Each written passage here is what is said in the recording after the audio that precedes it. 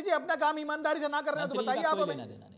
मंत्री जी अपना काम ईमानदारी से कर रहे हैं। अगर सरकार अगर मंत्री जी का कोई लेना देना मंत्री जी का क्या लेना देना आप बताइए मुझे। मंत्री जी का नाम एफआईआर में है? चार अक्टूबर को एफआईआर दर्ज हुई इस मामले पे। चार अक्टूबर को। 120 बी। तहरीर में मंत्री जी का नाम था। मंत्री जी का नाम। समझ रहे हैं आप? अब इस बात को मैं क्यों कह रहा हूँ? आप आगे सुनिए। बहत्तर दिन हो गए साहब बहत्तर दिन। तिहत्तरवा दिन लगने वाला है। आज तक नॉट ए सिंगल डे मंत्री जी से पूछताछ हुई। एक दिन भी मंत्री जी से पूछताछ नहीं हुई। मैं गलत बोल रहा हूँ? क्यों? ये, क्यों? ये आपको कैसे पता मंत्री से पूछताछ नहीं हुई? क्या आप डिपार्टमेंट में काम कर रहे हैं क्या? क्या डिपार्टमेंट से आपने कोई आपको जवाब मांगा? क्या डिपार्टमेंट? प्रवक्ता ने बताया कि क्या डिपार्टमेंट के किसी प्रवक्ता ने बताया आप बोलिए मंत्री जी से पूछताछ हुई या हुई आप मुझे मंत्री बताइए। जी से पूछताछ हुई क्या? मंत्री जी से पूछताछ हुई। आप बता दीजिए कौन तय क्या? करेगा? ये ये मीडिया तय करेगी या डिपार्टमेंट तय करेगा या कानून तय करेगा कि पूछताछ होनी चाहिए नहीं होनी चाहिए? ये ये आप तय करेंगे ये आप ये आप तय करेंगे कि आरोपी से पूछताछ होनी चाहिए या नहीं होनी चाहिए। आरोपी किसने बनाया? आरोपी आरोपी किसी का नाम 120 बी में जोड़ने से आरोपी मैंने तो बनाया नहीं। मैं तो तहरीर की बात कर रहा हूँ। आज बहत्तर दिन हो गए। जी मेरी बात सुनिए। मंत्री की भूमिका क्या है? इसकी जाँच कौन करेगा? अगर एफआईआर में उनका नाम 120 में 120 बी में है तो बिल्कुल पूछताछ होनी चाहिए। डिपार्टमेंट तय करेगा कि कब पूछताछ होगी कब नहीं होगी। मेरी मेरी फितरत है सर सवाल पूछने की। मैं पूछ लेता हूँ। मुझे वो तस्वीरें याद आ रही हैं जब देश के भीतर गंगा में डुबकी लगाते हुए हमारे देश के प्रधानमंत्री जी को 55 कैमरों ने कैद किया। हम गंगा जी से ही पूछ लेते। गंगा जी के प्रति सबकी आस्था है कि वो जो जीप थी, थार जीप थार जीप, जो थार जीप थी, वो अजय मिश्रा के नाम पर रजिस्टर्ड थी। थी या नहीं? थार जीप। मनोज पंडित जी, गंगा जी से पूछ लीजिए। तिलक जी, अगर था, अगर उनकी अरेस्टिंग हुई या उन्होंने सरेंडर किया तो शायद कोई ना कोई तथ्य तो था ना। गंगा जी से हम एक और सवाल पूछ सकते हैं। गंगा जी में डुबकी लगाते हुए एक और सवाल पूछ सकते हैं। वो ये सवाल हो सकता है कि गंगा जी बताएँ कि माँ गंगा, आप बताइए कि तमाम अखबारों में छपा, तमाम अखबारों में छपा कि आशीष मिश्रा और अंकित दास की बंदूक से गोली चली। थी। अब जाँच में जो उन्होंने धाराएँ बदली हैं धाराओं में जो बदलाव किए गए हैं वो तो जाँच के आधार पर बदलाव किए गए हैं ना उन्होंने? बुलडोजर है ना सर बुलडोजर। आपके यहाँ अपराधियों पर बुलडोजर चला देते हैं। वो बुलडोजर लखीमपुर पहुँचा कि नहीं पहुँचा? लखीमपुर। आप ये बताइए कि जब मिनिस्टर का बेटा जेल चला गया जुडिशल कस्टडी में है कोर्ट में सारा मामला पेंडिंग में है जो विभाग है वो जाँच कर रहा है चीज़ें चल रही है तो पत्रकार को मिनिस्टर से ये पूछने की आवश्यकता क्या थी? अगर थी तो कोर्ट से जवाब लेते कि भाई कोर्ट अच्छा में अच्छा सवाल नहीं पूछना चाहिए। नहीं सवाल कहाँ पूछना चाहिए?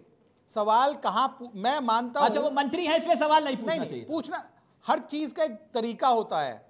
सिस्टम है। नहीं, नहीं, आप कहा रोड पे चलते हुए आदमी को कोई व्यक्ति कहीं जा रहा है और आप का आप उससे ऐसा सवाल करेंगे? ये मुझे बताइए। जब मामला सरकारी पत्रकारों को बताइएगा कि सवाल क्या होने वाला है? वो मुझे सरकारी बताइए पत्रकार जो बैठ के सवाल पूछते हैं आप लोगों से उनको सिखाइए। मेरा सवाल सीधा है। जब मेरा सवाल सीधा कि हैं- आखिरकार मंत्री के बेटे पर आरोप क्या है? हत्या का जो आरोप है जो चीज़ें चल रही है वहाँ पे जो हुआ उसमें क्या सरकार ने कार्रवाई नहीं की? क्या मंत्री का बेटा अरेस्ट नहीं हुआ? क्या वो जेल नहीं गया?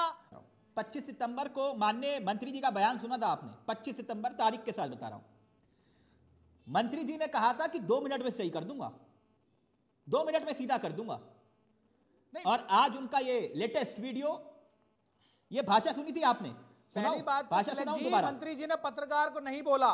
जो दिमाग खराब हो गया से जो बंदा अपने मोबाइल से वीडियो बना रहा था उसको बोला मंत्री जी ने। पहली बात तो ये कि आप किसी बयान को तोड़ अच्छा मंत्री जी को छूट है। चलिए आपने नहीं बताया कि वो बुलडोजर कहाँ चला गया जो आरोपियों के घर को आप लोग चलाते हैं ना सर? बहुत अच्छी मुहिम है। मैं उसका खुलकर समर्थन करता हूँ। वो बुलडोजर आजकल दिखाई नहीं दे रहा। लेकिन एक सवाल मेरा और था।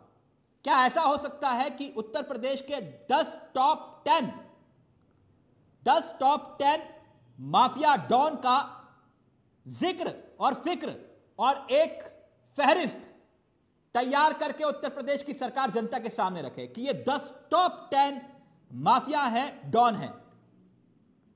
तिलक जी, आशीष कोई पेशेवर अपराधी तो है नहीं। आशीष जी ने कोई अपनी प्रॉपर्टी या कोई संपत्ति अपराध करके तो जमा नहीं की। अगर बिल्डोजर चलाने की बात आप कर रहे हैं तो।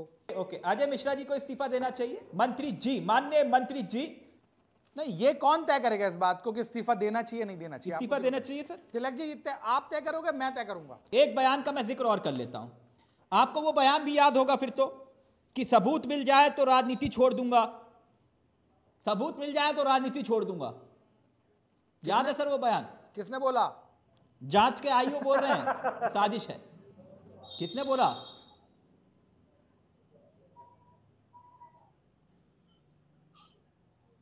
पंडित जी। आवाज़ नहीं आ रही।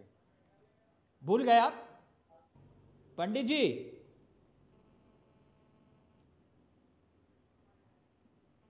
अच्छा सर हम जैसे पत्रकारों की आवाज़ पहुँचती नहीं है दिक्कत यह है। मेरा सवाल तो वो दिल्ली में बैठे बैठे बड़े बड़े संपादकों से है। दिल्ली में बड़े बड़े पत्रकारों से। है सवाल मेरा ये कि जब आपके पत्रकार ऐसे माननीय मंत्रियों जी द्वारा पीटे जाएँगे जूतों से, क्या तब आपका आत्मसम्मान जागेगा? बहुत कड़वी बात कह रहा हूँ, और मैं जानता हूँ मैं अपने गिरबान में झाँक कर इस सवाल को उठा रहा हूँ, और जनता के बीच में इस सवाल को छोड़ के जा रहा हूँ। सवाल मेरा यह कि हत्यारों के पैरोकार, हत्यारों के पैरोकार, सरकारी पत्रकार अब भी इन तस्वीरों को देखने के बाद क्या शर्मिंदगी महसूस नहीं कर रहे? जहाँ पे पत्रकार सवाल पूछता है तो मंत्री जी क्या कहते हैं? मंत्री जी कहते हैं, दिमाग खराब है